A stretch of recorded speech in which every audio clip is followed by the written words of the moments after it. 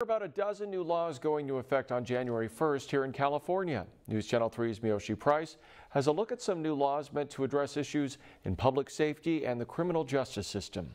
If you haven't done it, you've likely seen someone do it, crossing the street where there's no marked crosswalks. Starting January 1st, jaywalkers won't be ticketed if it's safe to cross. Tickets like this can pile up if they don't pay them. They do a, uh, tack on fines and fees, and it does further cement a problem that the low income communities do face in California. The new law raises a big question regarding when it's considered safe to jaywalk and says it will be up to police to determine fault if a pedestrian ends up getting hit while crossing. Another law that will take effect on January 1st is SB 1228, which bans police from using rape kit victim DNA in investigations into other crimes. I hope we'll send a simple, clear message to survivors of sexual assault everywhere.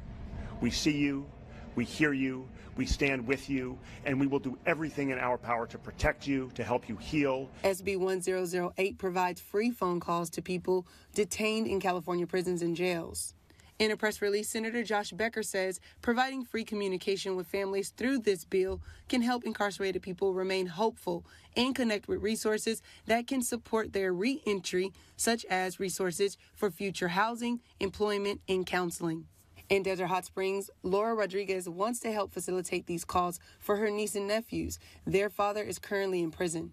I feel in my heart that will help him as a man to at least to have some communication with his kids let his kids know, okay, daddy's locked up right now, but daddy still love you. Miyoshi Price, News Channel 3. Outside of public safety, there are health care and labor laws going into effect. You can see a list of new laws coming in 2023 right now at kesq.com.